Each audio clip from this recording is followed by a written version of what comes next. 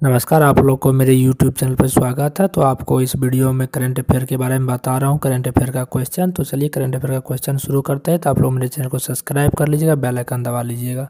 तो चलिए क्वेश्चन शुरू कर रहे हैं।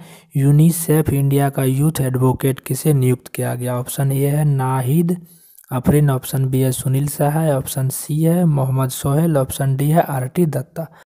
तो इसका आंसर होगा आपको A Nahid Afreen. UNICEF India का यूथ एडवोकेट किसे नियुक्त किया गया है?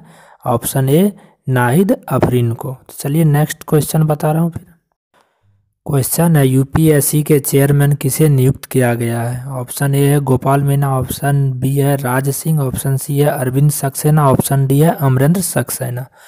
तो यूपीएससी के चेयरमैन किसे नियुक्त किया गया है? आपके सामने चार ऑप्शन, इनमें से जोन सही है। तो आप लोग बताइए, जो नहीं जानते मैं इसको बता रहा हूँ।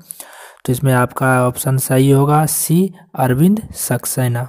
तो यूपीएससी के चेयरमैन किसे नियुक्त किया गया है? अरविंद सक्सेना को। तो फिर नेक्स्ट क्वेश्चन क्वेश्चन है, केंद्र सरकार ने कौन सी क्लास के बच्चे को होमवर्क देने पर रोक लगा दी है? आपका ऑप्शन ए है पहली और दूसरी क्लास ऑप्शन बी है पाँचवीं क्लास तक ऑप्शन सी है पहली से तीसरी क्लास ऑप्शन डी है पहली क्लास तो आपके सामने ये चार ऑप्शन है, इनमें से एक ऑप्शन सही है। तो केंद्र सरकार ने कौन सी क्लास के बच्चे को होमवर्क देने पर रोक लगा दी है? तो इसमें आपका ऑप्शन ए सही होगा, पहली और दूसरी क्लास के बच्चे को होमवर्क देने से रोक लगा दिया है। चलिए फिर नेक्स्ट क्वेश्चन क्वेश्चन है, किस देश ने दुनिया की पहली हाइड्रोजन ईंधन वाली ट्रेन का सफल प्रशिक्षण किया है? तो ऑप्शन ए है, फ्रांस ऑप्शन बी है, अमेरिका ऑप्शन सी है, जर्मनी ऑप्शन डी है, चीन। क्वेश्चन आपका है, किस देश ने दुनिया की पहली हाइड्रोजन ईंधन वाली ट्रेन का सफल प्रशिक्षण किया है? तो ऑप्शन ए है, France option B America option C Germany option D चीन। तो इसमें आपका ऑप्शन ए सही होगा, फ्रांस। क्वेश्चन है, हाल ही में किसे राष्ट्रीय महिला आयोग की अध्यक्ष के रूप में नियुक्त किया गया है?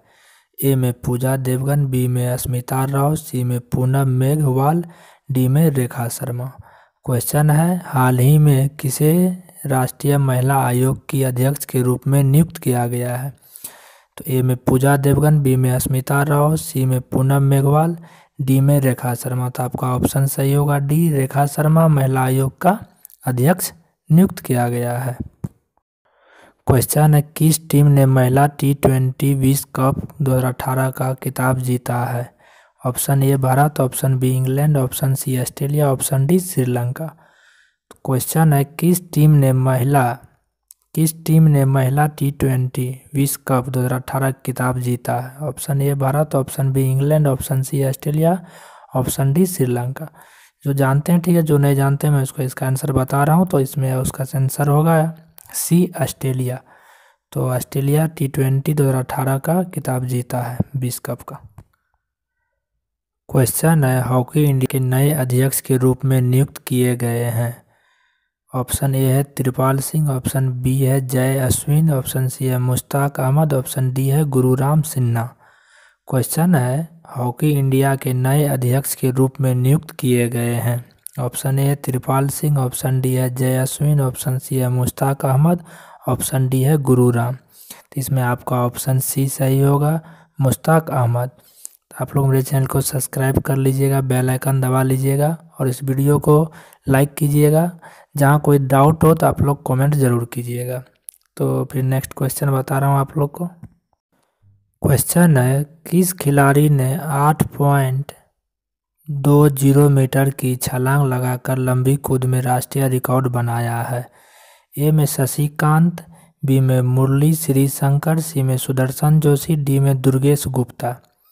क्वेश्चन है, किस खिलाड़ी ने आठ पॉइंट दो ज़ीरो मीटर की छलांग लगाकर लंबी कूद में राष्ट्रीय रिकॉर्ड बनाया है? तो आपके सामने ऑप्शन ए है, शशिकांत ऑप्शन बी है, मुरली श्री शंकर ऑप्शन सी है, सुदर्शन जोशी ऑप्शन डी है, दुर्गेश गुप्ता। इसमें आपका ऑप्शन बी सही होगा, मुरली श्री शंकर किस खिलाड़ी ने आठ पॉइंट दो ज़ीरो मीटर की छलांग लगाकर लंबी कूद में राष्ट्रीय रिकॉर्ड बनाया है मुरली श्री शंकर ने। तो फिर नेक्स्ट क्वेश्चन।